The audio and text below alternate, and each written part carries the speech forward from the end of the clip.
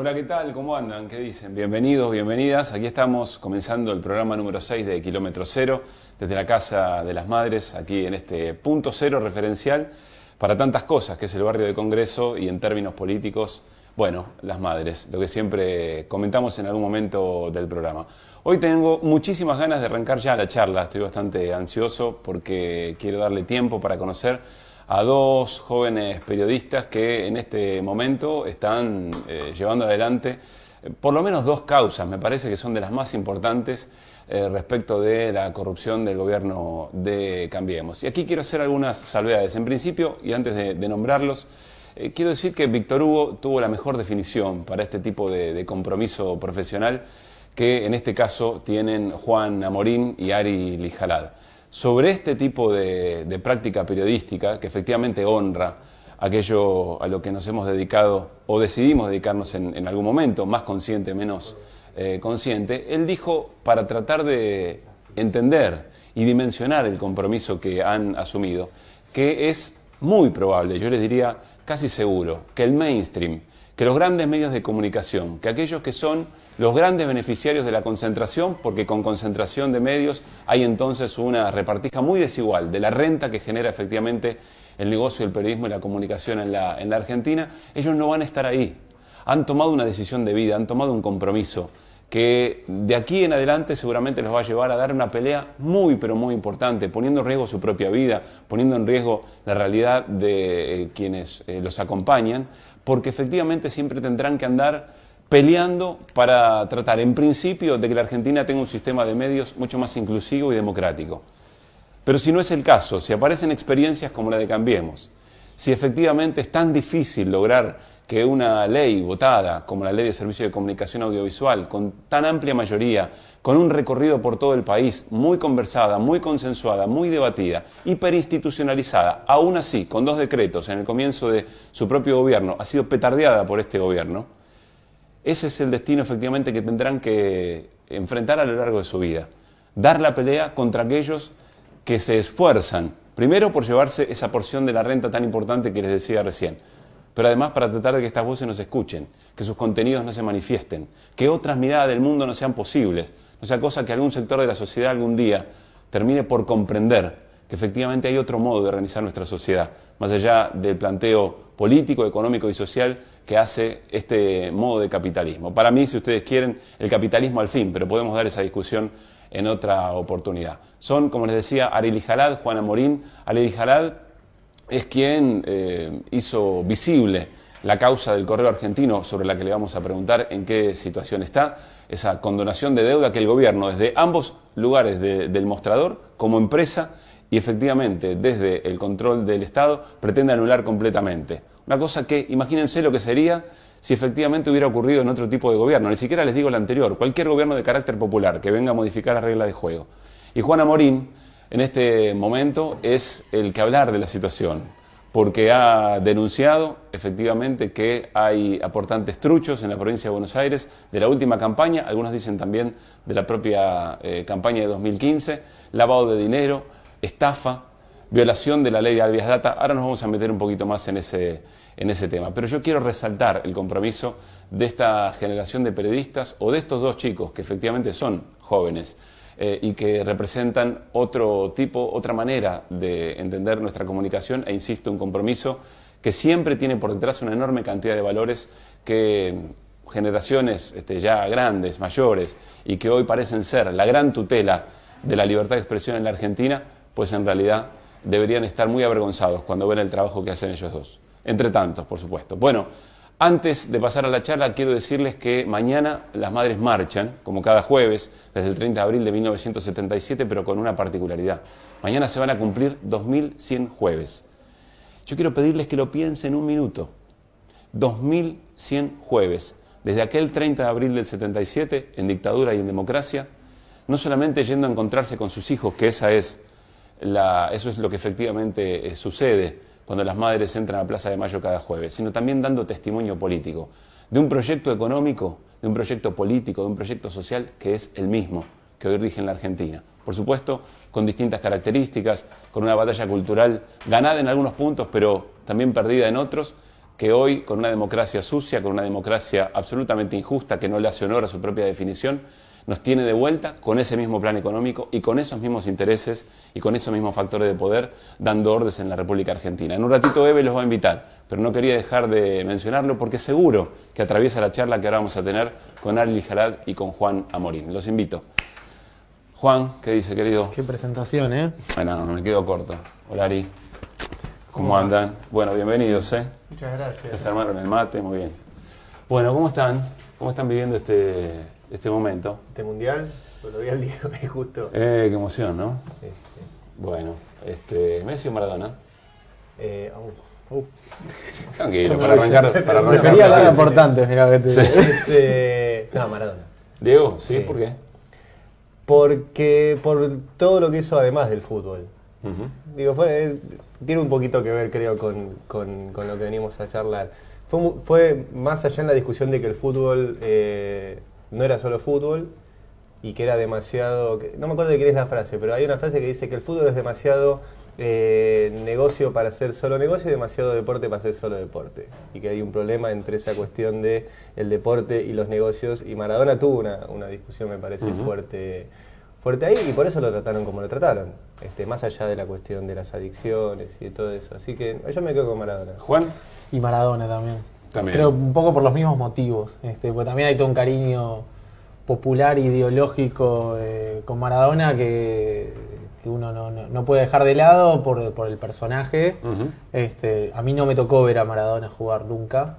Te sigue a través de videos, de archivos, qué sé yo. ¿Cuál fue el primer, antes ya nos empieza a faltar el respeto de, temprano, ¿cuál fue el primer mundial que viste a conciencia? A conciencia, mundial 98. Francia 98. Tremendo, ¿no? Tenías 5 años. Claro. Sí. ¿Y vos, Ari, el primer mundial? Mundial 94. 94. Estados Unidos. Bueno, ahí nomás también. Este, sí, pues el 90 no, era muy chiquito. Bueno, vos sos sub 35, ¿30 y? Yo soy 33. 33, vos 26. 26. Bueno. sub 30, en mi caso. Bueno, la vida, en algunos dicen la vida se vive en mundiales y las cosas que van pasando en el medio. Para, ¿y vos cuál? No, yo el, del, yo el gol de Maradona contra los ingleses me acuerdo ¿Vos perfecto lo donde lo vi. ¿En vivo? Y, sí. Qué lindo. Y me acuerdo además este, tener noción de lo que significaba ese gol, no solamente por la factura, sino por bueno el, rival y todas las cosas que, venían ocurriendo. ¿no? Qué lindo, qué lindo En el fútbol como en la vida y en la política, una de las frases que más me, más me gustan. Bueno, eh, quiero preguntarles por, eh, por, su trabajo, por lo que están laburando, que, le cuenten un poquito a la, audiencia, actualizar un poco la, información de estos dos casos, que para mí son emblemáticos este, en términos de lo que significa efectivamente la, corrupción. Eh, siempre decimos aquí en el programa que la corrupción es una suerte de ariete que atenta en general contra los gobiernos populares, pero es eh, básicamente inherente al, capitalismo. Lo podemos discutir. Este, pero eh, mucho más difícil cuando efectivamente hay que este, hablar de hechos de corrupción en gobiernos con estas características, digamos. ¿no? Eh, y después charlar un poquito de política, conocerlos o que los conozcan un, un poquito más. Juan, ¿cuáles son las últimas informaciones sobre el tema aportes en la provincia? Bueno, empezamos con 205 aportantes falsos hace eh, un mes, casi el 18 de junio. Lanzamos esa primera investigación. Eran 205 aportantes que eran todos beneficiarios de planes sociales, de ellas hacen y Argentina Trabaja. Después, una semana más tarde, lo ampliamos a todos los planes sociales existentes hoy en día. Nos dio 500 ese resultado, o sea, 500 aportantes falsos de la provincia de Buenos Aires. Este, ninguno de los casos de toda la gente que llamamos nos dijo sí, yo hice ese aporte, por lo cual este, hoy en día incluso la justicia recibió un informe que dice que el 99% de los aportantes falsos están afiliados al PRO, es decir, había cierta correlación en lo que nosotros este, veníamos marcando.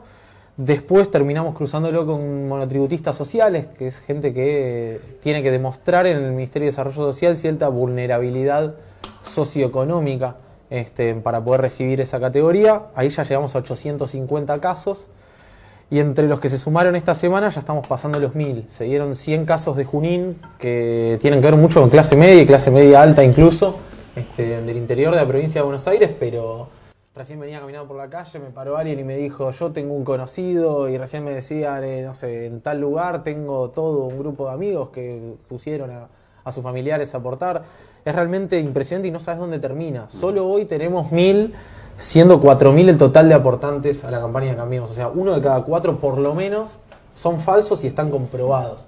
Este, uno de cada cuatro aportantes. Uno de cada cuatro como mínimo. O sea, yo ni siquiera me, aventuro a decir que, termina acá porque cuando terminás de hacer el cruce decís, bueno, utilizaron a mil personas, pobres mil personas que no tienen eh, condición económica para hacer esos aportes, este, y le, le robaron el nombre, la identidad, los afiliados les hicieron aportar. Bueno, perfecto. Ahí tenés un patrón. Pero después hay otros patrones que no terminás de detectar, porque hay gente de clase media que te contacta y que te dice, yo tengo una pyme, no tengo nada que ver ni con el Banco Provincia, o sea, no hay forma de, de relacionarlos y están ahí. Este, y están, y su nombre está, y figura su documento y su quill. Entonces, no me aventuro a decir, bueno, esto, esto se termina acá, digamos, bueno, hubo mil con 4 millones de pesos lavados. Bueno, perfecto. No, la verdad es que hay que seguir insistiendo, investigando, y en eso participa mucho la gente y está buenísimo. Si yo te muestro mi casilla mail, está explotado de gente que te contacta, este, que se fijó, que se buscó, que encontró un amigo, un familiar. Este, y eso es, es impresionante. Bueno, Ari se sumó y, empezó a sumar casos también de gente que lo contactaba. Este, entonces, bueno, la, investigación la verdad es que no me animo a decir que está terminada. Hay tres causas penales, sí.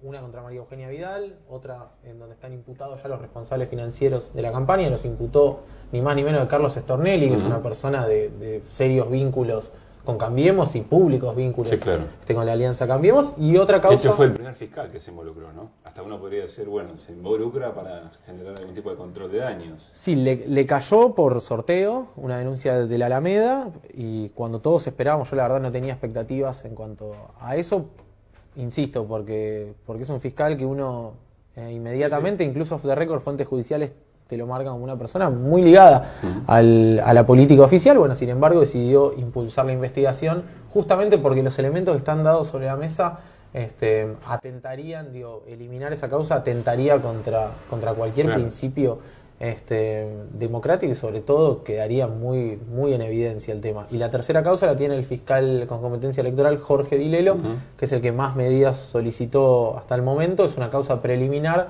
Una vez que se termine esa etapa preliminar y se confirme o no lo que nosotros denunciamos, incluso fuimos a la fiscalía a aportar pruebas, eh, decidirá si abre eh, una denuncia y la envía eh, a la Justicia Federal de La Plata, pero por el momento este, ya sucedió todo eso y todavía falta eh, recolectar todo el coletazo que viene pasando en el interior de la provincia, donde hay mucha gente que se está presentando a denunciar espontáneamente. Claro, todo eso todavía no está revisado, digamos. Todavía no está revisado y no se sabe si se va a hacer una mega causa, que probablemente termine así, termine todo en La Plata, que es donde está la competencia electoral. Hasta ahora de lo que se sabe, Juan, ¿cuánto dinero, digamos, eh, fue aportado en negro?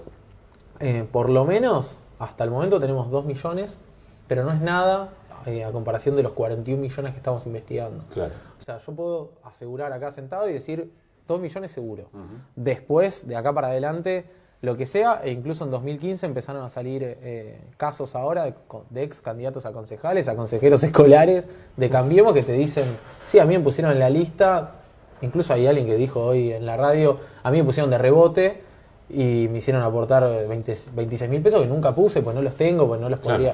Este, juntar. En la campaña 2015 es más grande todavía porque pusieron las listas completas, entonces ahí es más fácil detectar el patrón y ya juntaste 8 o 9 millones en solo algunos municipios. Por eso se está generando tanta este, denuncia. Lo de 2017 es impresionante el abuso, sobre todo de las personas humildes que hicieron. Eso es lo que a uno más... Vos hiciste una interpelación pública, tanto Caña, eh, sobre todo Caña, ¿no? Pero creo que a, a las autoridades en generales Sí, sí. políticas de la provincia de Buenos Aires. ¿Alguien se contactó con vos, con el equipo de producción que, que te fue empezando a dar una mano? Para dar respuestas a la, a la investigación periodística no se contactó nadie. La única persona que se contactó conmigo desde lo personal es alguien del equipo de Graciela Ocaña, que un viernes previo a la segunda parte del informe, sabiendo ya que se venía un nuevo informe, eh, me habló de muy mal modo, me dijo que yo me estaba equivocando al hablar de, de Graciela Ocaña eh, y que no era la persona eh, que se había ocupado del financiamiento de la campaña.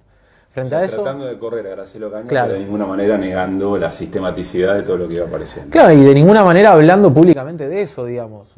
De última, lo que debería haber hecho es Graciela Ocaña decir yo no tengo nada que ver con esto, me están acusando erróneamente a mí, yo no sé cómo se financió mi campaña. Yo frente a eso le pedí que me respondiera una serie de, de preguntas. Eh, las preguntas eran sencillas. Si ella desconocía quién había financiado su campaña, si lo desconocía y yo lo podía llegar a creer, este, ante lo publicado, ¿qué pensaba? Porque Graciela Ocaña había prometido eh, denunciar hechos de corrupción eh, de este gobierno.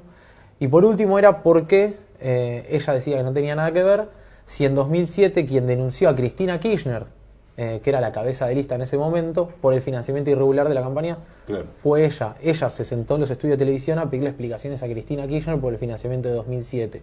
¿Por qué en este caso no se podría hacer lo mismo con ella? Frente a eso, esta persona me dijo que no teníamos nada más que hablar y que las respuestas las iban a dar en la justicia, que es la postura que han adoptado desde Cambiemos y que es muy violento, no conmigo, porque es mi laburo, digamos, yo tengo que contactar a todas las fuentes, a todas las personas involucradas, lo hago y está en ellos responder o no.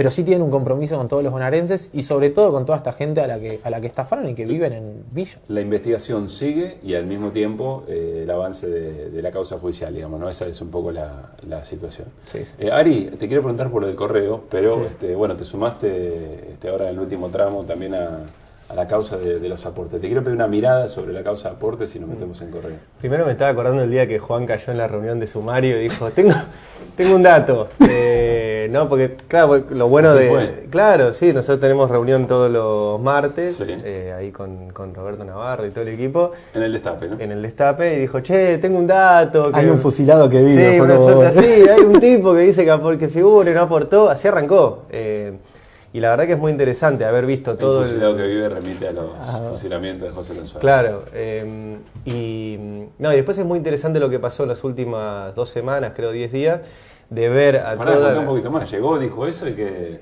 y empezó a, a-. No, y, y- 10 casos creo que te Sí, digo. no me acuerdo cuánto era, pero, pero nos miramos y Navarro dijo, así te como, esto es fuerte, eh, con, digo, con, con experiencia y con olfato de, de que eso iba, de que eso iba a explotar, pero no sé si, no sé si, si a vos te pasó, pero no sé si pensaste que iba a explotar tan fuerte. Eh, cosa que a mí me pasó con Correo, yo dije, uh, mirá, qué groso, qué sé yo, pero no pensé que de repente ibas a tener No, tal cual. todo el país hablando eh, de este tema, hay gente que te para en la calle y causas judiciales este, y todo eso. Y después es muy interesante, y eso habla también mucho del, del medio, de- del destape, haber visto estos 10, 12 días a toda la redacción peinando... Lo, lo odian, pero...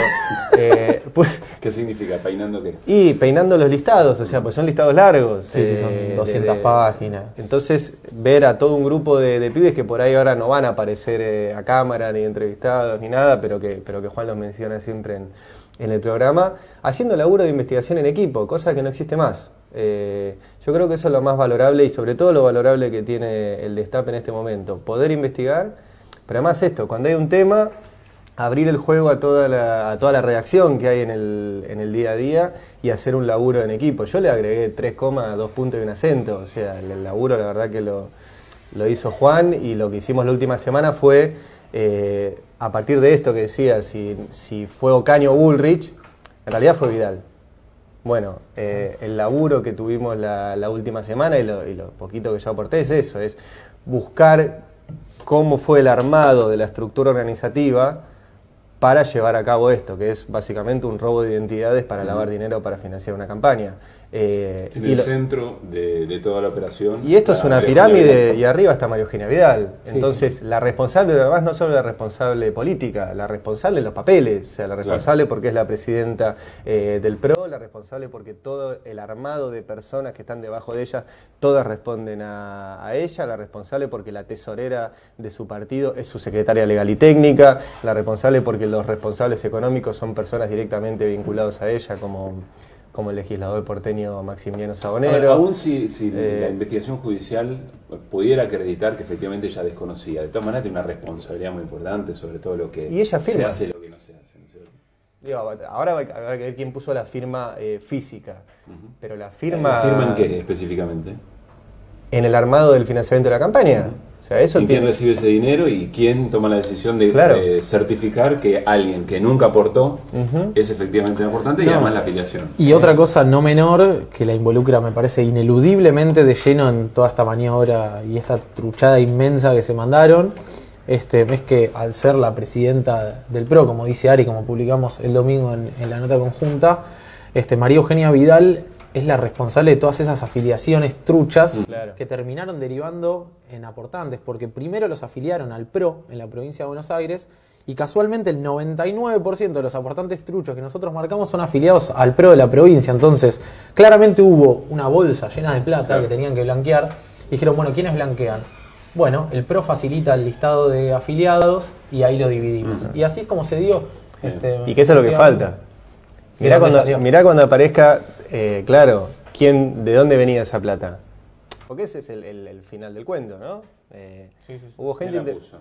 Hubo gente interesada en financiar la campaña de Vidal, lo cual está perfecto. Las campañas se tienen que financiar. Ahora financiá y poné tu nombre y apellido, quién sos. Cargo, Eh, el problema es que cuando tengamos ese listado, después hay un paso siguiente que es, bueno, fue tal, Pablo Caruso que tiene una empresa X. Bueno, seguramente esa empresa X, que fue la que puso la plata, después se ve beneficiada. Es un modo de decir, está Eh, claro, sí, ¿no? no, Sí, no, las bueno. Pongamos Juan, Juan Pérez, este, Juan Pérez que tiene una consultora o una constructora, qué sé yo, te firmo acá que eh, seguramente en estos dos años de gobierno de Vidal ha sido beneficiaria de eh, obra pública, de contratos de consultoría. ¿Hay alguna sospecha etcétera. sobre eso o no? Todavía está, esa investigación todavía no está. Estamos trabajando sobre, alguna punta que, que puede llegar a dar con, con la parte de- del rompecabezas que falta.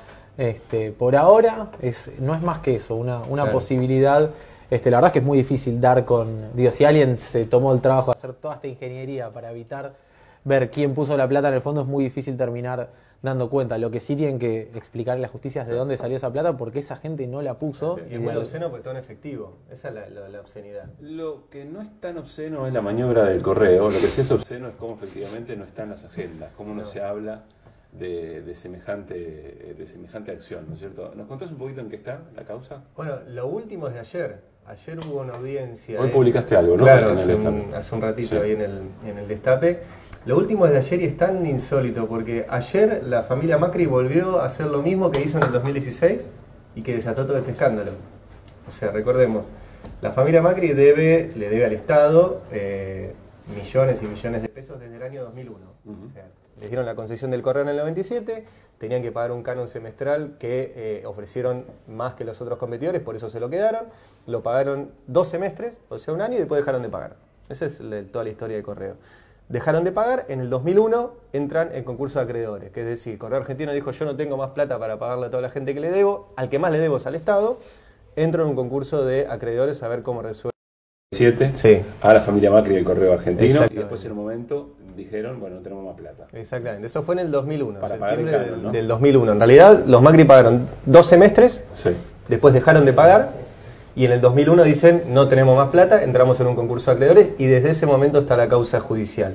Bueno, eso atravesó 15 años en los cuales eh, los Macri hacían propuestas de pago que el Estado rechazaba porque eran igual de abusivas, o sea, planteaban que les quiten parte de la deuda, etcétera.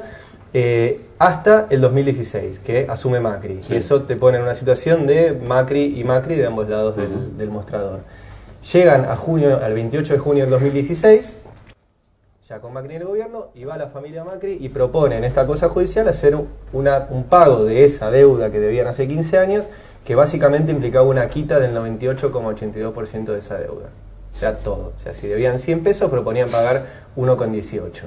Pero además proponían pagar 1,18 de acá al 2033. Y no solo de acá al 2033, sino que iban pagando el primer año el 1% de la deuda, el segundo año el 1% de la deuda, el 50% de la deuda lo pagaban el año 2032 y el 2033. O sea, ridículo. Eh, el Estado va y acepta eso. Nosotros ya mostramos también en Que es el... lo más en el- obsceno de todo, digamos. Claro. El Estado va y dice, bueno, yo estoy de acuerdo en esta propuesta de pago ahí mismo, en, una, en, en el mismo 28 de junio. O sea, los tipos van y presentan la propuesta y el enviado de Oscar Aguad en ese momento, que era el ministro de Comunicación, dice, yo acepto. Nosotros ya mostramos en el destape que los- el Estado tenía obviamente la propuesta antes y fue toda una puesta en escena en esa audiencia. Y la que frena todo esto es la fiscal Gabriela Boquín, que dice, no, esta propuesta es totalmente abusiva, perjudica los intereses del Estado, implica condonarles, las cifras son 70 mil millones de, de pesos, la condonación total de esa- 70 mil millones de pesos. Sí, bueno, esa es la otra, recién hablábamos eh, que lo, hace, lo hacía poco creíble, yo me acuerdo cuando lo publiqué eh, y un amigo así me dice, yo te creo todo, 70 mil millones de pesos, y bueno, es lo que da el número, o sea, es, un número, es, eh, es matemática, Claro. es la deuda que tenían ellos de 296 millones de pesos en el 2001 contra la tasa activa del Banco Nación, que es la más baja del mercado además, eh, prorrateada al 2033, que es la propuesta que hicieron de pago. Mm. Bueno, eso te da que se ahorraban 70 mil millones de pesos en el tipo de propuesta que habían hecho. O sea, es matemático, es un cálculo financiero, no es que a mí se me ocurrió ponerlo en la, en la nota, pero sí, es poco creíble. Bueno, ese es el, pero los números son eso. Eh, Entonces, la fiscal rechaza esto, nosotros publicamos esa, esa situación y por eso se conoció todo el escándalo y a partir de ahí, básicamente lo que hizo el gobierno fue sacar a los fiscales que le molestaban, como el fiscal Sony, que era el que estaba a cargo de la causa penal que se inició después de que publicamos esto, intentar correr a la fiscal Gabriela Boquín, cosa que todavía tiene que resolver la Corte, eh, ganar tiempo, de hecho los Macri siguen sin pagar, cada vez que me preguntan qué pasa con, la- con el caso Correo, y los Macri todavía no pagaron un peso. Yo a cualquiera que esté mirando a ustedes, si ustedes le deben plata al Estado y pasan 16 años y no le pagan, sería raro. Bueno, y la última noticia de ayer es que fueron los Macri, hicieron una nueva propuesta y es la misma que la del 2016. Es la misma. O sea, ayer fue la familia Macri, mandó a su abogado, dijo, bueno, yo voy a proponer lo mismo que en el 2016, o sea, una quita de 70 mil millones de pesos, y como mejora de la propuesta, les digo que les voy a pagar los intereses de, todo lo- de todos estos años, cosa que nunca quisieron pagar, pero si el Estado me paga a mí los juicios que yo hice contra el Estado. O sea, los Macri, además de deberle plata al Estado, le han hecho Le juicios. piden al Estado. Le han hecho- hasta salen ganando, incluso. Claro que salen ganando, porque ellos proponen pagar 600 entre 600 y 700 millones de pesos y tienen juicios contra el Estado por 4 mil millones. Entonces, la mejora que hicieron los Macri ayer es, nosotros proponemos la misma propuesta abusiva del 2016 y vamos a pagar intereses, pero solamente si el Estado nos paga a nosotros lo que nosotros le reclamamos, que son en dos causas de 2 mil millones cada una. ¿Y llegan a Eh. imaginarse qué ocurriría con estas dos causas? Por no mencionar otras. ¿Qué ocurriría si efectivamente el gobierno tuviera otras características? No digo el gobierno anterior, porque por ahí es casi un cliché No, hacerlo. si fuera el gobierno anterior directamente. No, pero en si los dos casos creo que hay gente presa. Si fue a cualquier gobierno del mundo. Sí, de sí. verdad, yo no. Creo que excepto Brasil, que, que la verdad que el Poder Judicial brasileño es bastante peorcito que el, que el nuestro. Se han caído, por ejemplo, lo que está investigando Juan. eh, el gobierno español cayó por eso, por un caso similar. Por Ni aportes no declarados, Por aportes no declarados. Sí, sí, por financiamiento Sí. ilegal de La- los Panama Papers que han hecho caer primeros ministros, eh, funcionarios, este, etcétera. Y acá lo mismo, imaginemos en cualquier país del mundo que eh, el la familia del presidente, que el presidente le intenta contener a su familia una deuda millonaria con el Estado y salta. Ahora, si acordamos que la corrupción efectivamente es inherente al, sistema, digamos, ¿no? Podemos discutirlo si quieren lo hacemos, pero si, si tenemos un acuerdo en ese sentido. ¿Por qué eh, para una sociedad?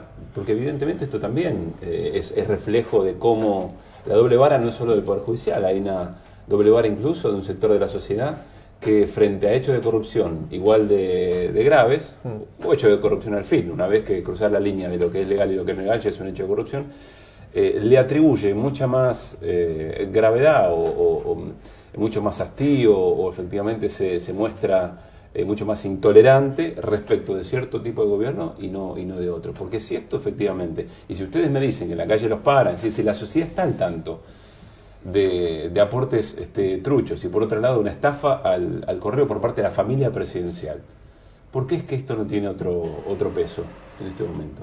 Bueno, para empezar, me parece, para empezar a hablar tenemos que, que hablar ineludiblemente de la concentración mediática que hay. Eh, no es lo mismo eh, la tapa del diario que se replica en tu radio, que es la radio líder este, del país, al- en la primera mañana, que se replica en tu noticiero, que es el noticiero más visto del país, eh, a la noche y que digo, y a la vez tenés la pata judicial que te acompaña y a la vez tenés, digo, claramente hoy en día tenemos medios de comunicación que no responden eh, a ningún tipo de, de patrón de concepto noticioso de por sí. Hoy en día es muy difícil ver periodismo en los medios de comunicación. Yo creo que los periodistas sí hacen periodismo. Ahora, distinto es eh, el medio de comunicación en sí. Bueno, vimos a. La, la gente le grita chorro a Vudú este, por la calle por la falsificación de un, de un papel vehicular, digamos. Eh, hemos visto cosas realmente muy ridículas eh, en estos tiempos. eh, operaciones burdas de todo tipo y te aseguro que, que si hoy haces una encuesta, no sé, la, la gran mayoría va a pensar que Baradel es un corrupto por una denuncia falsa que le hicieron y tres tapas de Clarín y la gran mayoría va a pensar que María Eugenia Vidal no es corrupta, pese a que tenés cientos de personas gritando que le falsificaron el nombre, que le robaron la identidad, que le falsificaron la firma, este, que los hicieron aportar y que encima le robaron los datos de la planilla de desarrollo social. ¿Crees que todo se explica por eso, Ari? Ay, A ver, sin duda los medios de comunicación tienen un rol fundamental y además puntualmente el grupo Clarín, que es al que se refiere Juan, está construido en base a la corrupción. O sea, si vos recorrés la historia del Grupo Clarín, todos sus grandes saltos y crecimientos económicos son en base a distintos formatos de corrupción, sea con algún favor del Estado, sea con alguna condonación de deuda del Estado, sea aliándose con el Estado terrorista para quedarse con una fábrica de papel, sea con Menem entregándole Canal, 9, Canal 13 y, eliminando los impedimentos para que tuvieran un multimedio. O sea, siempre han tenido, o sea, es un multimedio construido en base a la, corrupción y también al talento para hacer grupo de medios. O sea, eso también ha faltado del otro lado y ahí también hay una, autocrítica. Durante los 12 años de kirchnerismo no hubo eh, medios de comunicación em, dispuestos a aplicar estas cosas que ya ocurrían. Por ejemplo, caso Correo atravesó todo el kirchnerismo. Y nunca había quedado en la memoria que la familia Macri le debía plata al Estado, etcétera, pero no se profundizaba sobre esto. Panama Papers. ¿Por qué eh, no se conoció antes? Si todos los armados de las empresas offshore fueron previos a la asunción de Macri como, como presidente. Entonces, esto que dice Juan, de que efectivamente eh, hay una percepción de que los sindicalistas y los eh, y los dirigentes políticos son mucho más corruptos que los empresarios. Eh, efectivamente es así, es porque se hace poco periodismo sobre los empresarios. este, yo siempre hago el, mismo ejemplo. Si yo te siento en una mesa a todo el gabinete de Cristina y te siento en una mesa, en la mesa al lado, a toda la comisión directiva de la Asociación Empresaria Argentina, de AEA, eh, y les pregunto a ustedes que no pongan el nombre y apellido de cada uno, al gabinete de Cristina los van a nombrar a todos y a la comisión directiva de AEA no van a conocer la cara a ninguno. Eh, y eso es un problema. y en términos de poder, está claro quién tiene, claro, este, a mí una vez me acuerdo que, Navarro le hizo una entrevista a Cristina y Navarro le dice, le pregunta, ¿extrañas el poder de estar en la, en la Casa Rosada? ¿No? Y, y, y el olivo, digo, tener el poder. Y Cristina le respondió algo bastante interesante y le dice, mira, eso no es el poder. poder es llevar, es, poder es, valga la redundancia, poder llevar adelante tu proyecto político estés en el gobierno o no estés en el gobierno. Los grupos corporativos y empresariales han llevado adelante sus proyectos económico-políticos fuera del gobierno, siempre, históricamente, y ponían a alguien en el gobierno. Eh, lo curioso de este momento histórico es que ahora son parte del gobierno, o sea, Macri es parte de ese poder histórico corporativo y ahora encima, pero si no ponían algún personero, digo, fuera Menem en los 90, fuera los militares en los, en los 70, y, ahí es donde el kirchnerismo que que creo que no dio esta discusión tan públicamente, rompió con muchos de esos esquemas de, poder y sobre todo esquemas de poder eh, monopólicos. O sea, esquemas de poder monopólicos, no solo en la ley de medios, de poder monopólicos en, cuanto a la energía, de monopólico en cuanto a los recursos naturales, al sistema financiero, al, acceso al, dinero, incluso a las armas.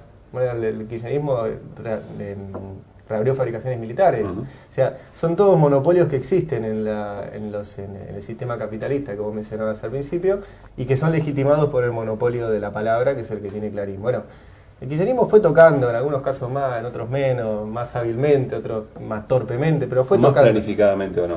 Claro, pero fue tocando, digo, lo pones nombre y apellido, IPF, fabricaciones militares, un ministerio de ciencia, el monopolio de la investigación científica lo tenían los laboratorios. Y vinieron estos y le crearon un ministerio de ciencia. ¿Sabes lo que es eso para los laboratorios? Desarrollás el negocio. Este, y en cada uno de esos, y la ley de medios. Sí, avances que tuvieron también sus límites. ¿no? En el caso, por ejemplo, porque es el último que mencionás, tampoco se avanzó tanto en la fabricación pública de medicamentos. No, no, parece. Pero de todas maneras, evidentemente puso en tensión una enorme cantidad de, factores de, poder. Juan, ¿cómo le ves al gobierno? ¿Cómo le ves a Macri? Débil. Débil, eh, ve un gobierno que, no gobierna, claramente, ve un gobierno que, que tira volantazos y muchas veces torpemente empieza a tirar manotazos de, de ahogado. Creo que la situación económica y financiera del país es muy grave, muy grave, por no decir eh, casi una situación terminal. Digo, estructuralmente me parece que, que los resortes de la economía no están funcionando en absoluto. Este, no creo eh, que el gobierno tenga la capacidad tampoco de, revertirlo y basta con, ver el discurso, ver este, las expresiones, ver ya que, los objetivos son cada vez menos ambiciosos y que a la vez esos objetivos menos ambiciosos se incumplen cada vez más. Entonces, cada vez que te propones algo es más chico y no lo cumplís tampoco. Este, me sorprendió la llegada de- del FMI, la esperaba pero no tan pronto capaz. Este, es una película que yo nunca vi esta, eh, desde, desde lo personal, digo, no, nunca me tocó vivir de, tan de cerca algo así. Hizo el secundario en el kirchnerismo. Crecí. Claro, y sí, sí, sí, sí, todo, de- casi toda, toda mi primaria y mi secundario en, en el kirchnerismo, en, en otra etapa de- del país, digo, la- las fotos de 2001, eh, el único recuerdo que tengo es haber ido con, con mi mamá a golpear una cacerola. Está bien, no lo viviste en la calle, pero sin embargo eh, fuiste incorporando nociones respecto de qué significaba un acuerdo con el Fondo Monetario. No, no, Para desde ya. No, pero digo, me, me sorprendió la velocidad con la, que, con la que regresamos este, al fondo y por eso digo que es un gobierno que no gobierna, es un gobierno que claramente está, está muy, muy maniatado por, por decisiones que él mismo generó. eh. Digo, hay un efecto boomerang, me parece terrible, este, por parte de promesas al, al poder eh, fáctico y al poder real, ese poder real que muchas veces mencionamos, que se tuvieron que cumplir este, y que al cumplirse eh, esos favores también te vas quitando ángulo de giro. Este, digo, lo- por ejemplo, con el campo, la, la quita de retenciones al campo, cuando la quisieron frenar, los, los mataron y en dos segundos tuvieron que volver de vuelta. Entonces, cada vez que veo que el gobierno intenta avanzar con, con autonomía en alguna decisión, se nota claramente el hilo detrás que lo hace volver. Por eso veo que es un gobierno que tiene marchas y contramarchas y que más tarde o más temprano va a terminar produciendo una crisis y un estallido este, bastante, bastante estruendoso y, y que obviamente da, da miedo porque esto eh, ya lo vivimos, porque ya sabemos que la bola de nieve cada vez se, se agranda más y es más difícil de, de pararlo después. ¿Cómo lo ves vos, Ali? Yo en general no coincido con eh, la idea de que el gobierno se equivoca, pero desde el principio, o sea, la, la cuestión de que mm, le pifian, de que se les escapa el dólar, de que no saben cómo solucionar esto o aquello, digamos. eh, y la cuestión es bastante fácil, o sea, cuando vos, si vos sabes que la decisión A redunda en B, si tomás la decisión A va a pasar B. O sea, no va a pasar ni C, ni D, ni, Y ellos lo saben. ni Z. Y ellos lo saben porque son gente muy capaz. Muy capaz en el sentido de. Muy capaz al servicio de. Eh, y, y yo me acuerdo cuando empezó el cuando empezó el gobierno nosotros sacamos dos libros, uno que, que juntaba las primeras medidas de Macri en los 100 días de gobierno y ahí ya el, el amigo Seba Soler decía, volvemos al FMI, primero 100 días de gobierno y en el segundo tomo de ese libro que cumplía el año de Macri estaban las medidas de Macri del primer año de gobierno y ya estaba el capítulo de, de la vuelta al FMI que advertía, que advertía Sebastián y así con cada uno de los casos. Y lo, y, lo que veías era un plan para un reformateo económico y cultural de la Argentina. Yo creo que en eso han sido muy efectivos. O sea, este país eh, lo han cambiado casi 180 grados en dos años. O sea, nos han dejado un país endeudado, dependiente, mucho más violento, mucho más desigual. eh, y es muy difícil cambiar eso. Y ese era el plan. O sea, yo estoy convencido de que ese era el plan. Eh, Sí, y después escrito. co- coincido, Y- sí, perdón, vale, coincido vale. con esto de Juan de que esto termina en un estallido. Pero los estallidos también se planifican. Es como cuando hay una manifestación. ¿Por qué hay un momento de tensión y de represión y de violencia en una manifestación? Porque se decide, o sea, la- la- es, una, es una táctica policial o militar decidir vos cuándo haces que estalle. Bueno, efectivamente esto va a estallar. Este, y alguien va a hacer un negocio con ese estallido. Pregunta obligada por la oposición, porque si efectivamente estaba escrito Sí. ya en el comienzo del gobierno, ayer estábamos charlando con la gente de Arbolito y ellos escribieron en marzo de 2016 para la mano. Claro. Evidentemente este, todo estaba bien, bien visible, yo lo recuerdo, pero también es interesante que aparezcan testimonios no necesariamente del ejercicio del periodismo, de la- del análisis político. Entonces la pregunta obligada es por la oposición. ¿Cómo la ves? Que es la oposición, ¿no? Claro. ya a esta altura. Claro, es muy chiquita la oposición a este gobierno. La oposición real, digamos. La oposición real dicha. se ha limitado a una parte del kirchnerismo, no te digo toda, a una parte del, del kirchnerismo. Este, mm, sí, la verdad que no, no ha tenido, pero además hay un, hay un problema, me parece, en la, en la oposición que es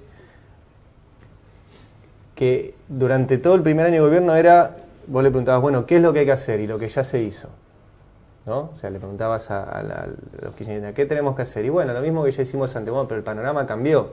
O sea, yo creo que parte de la, de la derrota electoral del 2017 que tuvo la oposición eh, aparte de los aportantes truchos y que sigan todo eso, eh, es que hay, hay poco, hay, hay poca exposición de ideas y de qué se quiere hacer y de qué hay que hacer con las cosas y sobre todo de pensar fuera de los lugares de comodidad este, y decir las cosas que hay que hacer. Reclamas a la oposición que sea más clara respecto de lo que hay que hacer. Claro, o sea, ¿qué querés hacer con la justicia? ¿Qué querés hacer con los servicios de inteligencia? ¿Qué querés hacer con los estudios de abogado? ¿Qué querés hacer con los sindicatos? ¿Qué querés hacer con la, con la Díganlo. Ahora, no puede ser que estés todo el tiempo atado a un carpetazo, a que te van a mover una causa judicial, a que le tengas, sigas teniéndole miedo a las tapas de los diarios. Yo creo que tienen que, tienen que plantearlo seriamente y no pasa. Y aunque se lo preguntes, no pasa. Juan, ¿cómo ves la oposición? Difícil.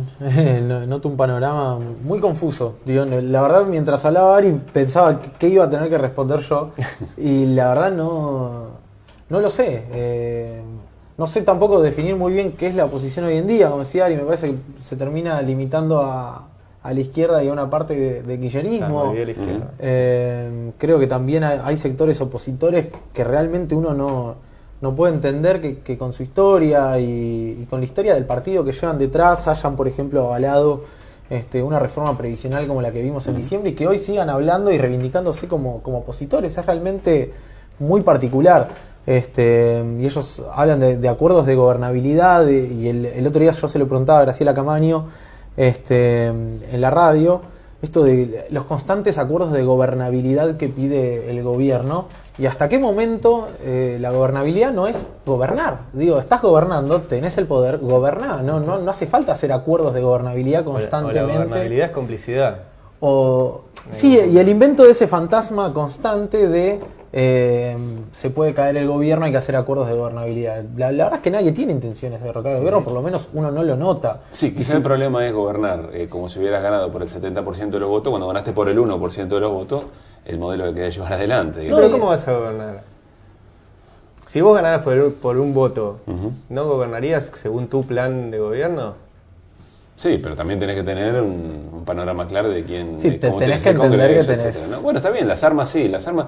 A ver, este, salvando las distancias en términos del Congreso Nacional, el gobierno hizo lo que tenía que hacer. Y te agrego. Desde su punto de vista. El problema son los que han votado cosas que para lo que no fueron elegidas. Te agrego una cosa, justamente respecto a la gobernabilidad. Si hay alguien que no se puede quejar de, haber tenido gobernabilidad, este gobierno se le aprobó cada ley, digo, el acuerdo con los fondos buitres. Sí, las estructurales se le aprobaron. El blanqueo se aprobó con parte de la oposición levantando la mano, la reforma previsional se aprobó con parte de la oposición levantando la mano, no llegaron a hacer la reforma laboral, pero ya tenían bastantes eh, acuerdos hechos con sectores opositores. Entonces, hablamos de la oposición y es, bueno, ¿qué es la oposición? Si es el kirchnerismo, yo creo que el kirchnerismo se equivocó, por ejemplo, en subir eh, al ring otra vez a Cristina. Me pareció un error estratégico importante. Bueno, es una posición personal, después pueden venir y decirme, no, mirá, porque las encuestas, por esto, bueno uno analiza desde afuera y no es analista, es periodista. Eh, pero la realidad es que creo que el gobierno se da el gusto de contraponer constantemente este, esa imagen demonizada, esa imagen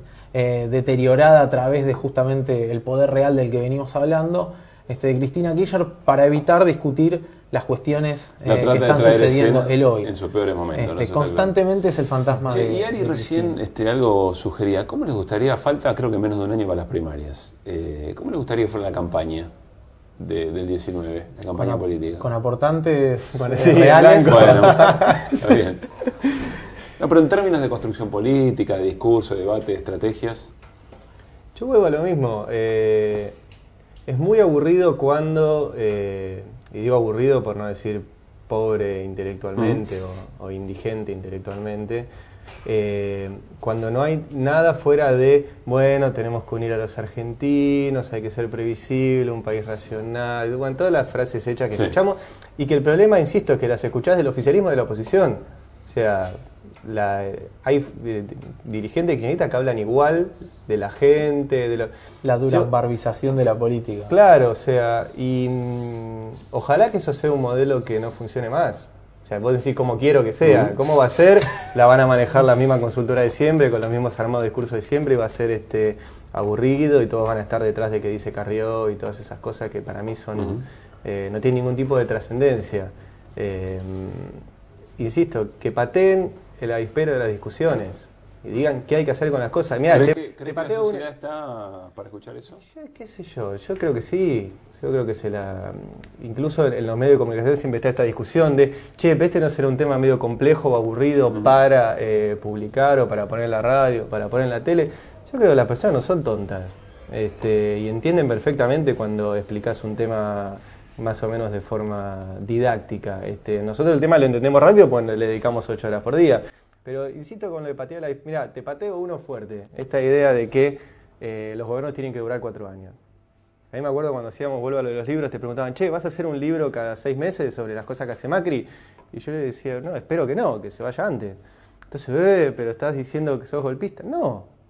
O sea, si yo creo que cada decisión que toma Mauricio Macri hace que más personas vivan peor y sean pobres y, se, y, y haya más hambre o, o casos de desnutrición como encontró Juan también hace un par de semanas en la ciudad de Buenos Aires, y yo no quiero que gobierne un segundo más. ¿Eso me hace golpista? No. ¿Eso hace ir en contra de las instituciones? No. Bueno, Y- aquella frase de este, todos queremos que a Macri le vaya bien. Claro, bueno, mentira.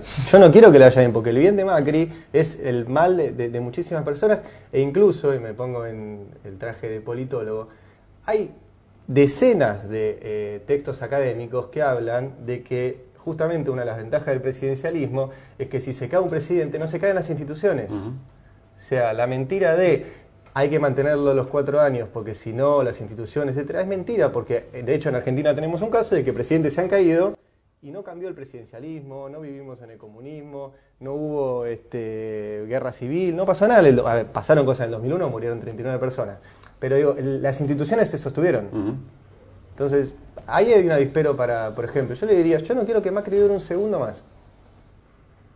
Y te lo discuto políticamente, académicamente, periodísticamente y con todos los datos arriba de, de la mesa. Si encontrás un candidato que te diga eso, Dijiste recién, Juan, durar, ba- durar, duran barbización de la política. ¿Crees que este, los sectores opositores tienen que encontrar un, un Durán Barba propio?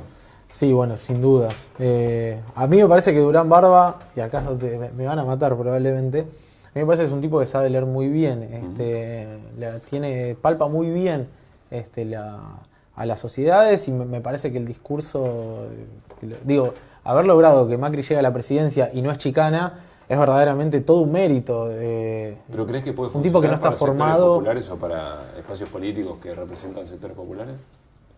No lo sé, este, tampoco sé si, si la forma este, de, de- de- hacer, si quiero la forma de hacer política de, Durán Barba, creo que comunicacionalmente está muy bien, no necesariamente tenés que utilizar este, las mismas herramientas, el mismo discurso vacío y artificial, creo que hay que mejorar las políticas de comunicación con contenido, insisto, Durán Barba sabe comunicar sin contenido porque el partido político no le genera ningún tipo de, de- de contenido. Si vos a eso le agregaras contenido, realmente me parece que sería una fórmula más que interesante. Este, pero sí me parece que es necesario, digo, por ejemplo, me, acuerdo cuando se dio la foto de, de la de este grupo de, de alianza opositora que se está haciendo con Felipe, el chino vos veías que se habían juntado para sacarse una foto y veías la foto y decías, esto es completamente viejo. Este, creo que fue en, el- en la sede de la UMED.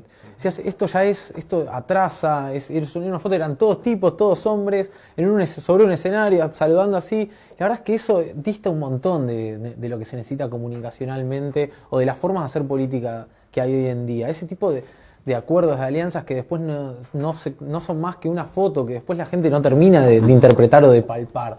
Este, bueno, todo eso me parece que forma parte de, los errores y de los traspiés que sigue cometiendo constantemente la oposición, que insisto, volvamos, cada vez que digo oposición digo, bueno, pero habría que discutir qué es la oposición finalmente. Me parece que eh, la dura barbización de la política, desde el concepto de comunicación sin contenido, con contenido vacío, solo para eh, atraer o hacer control de daño, etcétera, no, no quiero eso. Ahora, visto desde el punto de vista de, la efectividad eh, que logra comunicacionalmente, de que es- bueno, ahora Macri se desplomó, pero digo, le supo mantener la imagen positiva. Bueno, este, los leemos eh, en el Destape Web, los, los vemos también, por supuesto, los domingos a las 9 de la noche. Ari, Radio del Plata. Radio del Plata, Con, con Daniel, ¿no? Con Tonietti a, a partir de las 9 de la mañana. por ahora. Bueno, ¿y Juan? Y nosotros estamos de 7 a 9 en La Patriada, en En La FM la Patria haciendo Crónica Anunciada, así que escuchan Crónica Anunciada y a las 9 se pasan a, a, escuchar a Ari. Che, bueno, gracias, eh. gracias por haber venido, por actualizar un poco en lo que están laburando. Mucha, este, les deseo la misma convicción con la que viene haciendo eso. Muchas gracias. Y sobre todo por ampliar un poquito la charla y, conocerlos más, eh, que, que no hay tantos espacios para charlar abiertamente sobre, estas sobre estas cuestiones, de verdad. No, gracias a, vos y obviamente al espacio que, nos da Madres, que siempre es, es, elogiable y sobre todo con, la historia, ¿no? Es, un gusto entrar acá y hacer una nota acá. Juana Morín, Ari Lijara nos acompañaron en este programa número 6 de Kilómetro Cero. Antes de despedirnos, Eve nos convoca, eh, como les decía en el comienzo del programa, a la marcha de mañana jueves. Como cada jueves, desde el 30 de abril de 1977, las madres marchan y en este caso será la marcha número 2100, con todo lo que eso significa. Eve nos invita y nosotros nos reencontramos dentro de 15 días. Que pasen bien. Bueno, compañeros, este, estamos un poquito cansados. ¿Qué les parece? 2100 marchas. Hemos batido todos los récords. Y ustedes saben que cada vez tenemos más entusiasmo, aunque no marchemos. Aunque solo ir a la plaza nos importa. Las madres enfermas y solo queremos ir a la plaza, no importa que no podamos caminar. Los queremos invitar a ustedes. Porque por primera vez vamos a invitar a un enemigo. Invitar no, a llevar, más vale, a un enemigo. Va a ir Machirulo. Pero como está muy nervioso, lo llevamos enjaulado. Sí, sí, Machirulo enjaulado. Y vamos a estar ahí tal vez hable, diga algo, no sé. Vamos a ver. Así que los convocamos a ustedes que nos acompañen. 2100 marchas. El gorila enjaulado no es poca cosa. Saben que cuesta enjaular un gorila. Pero lo vamos a compartir. Queremos compartirlo con ustedes. ¿Nos acompañan? 2100 marchas. Nada menos y nada más. Gracias por estar siempre con nosotros.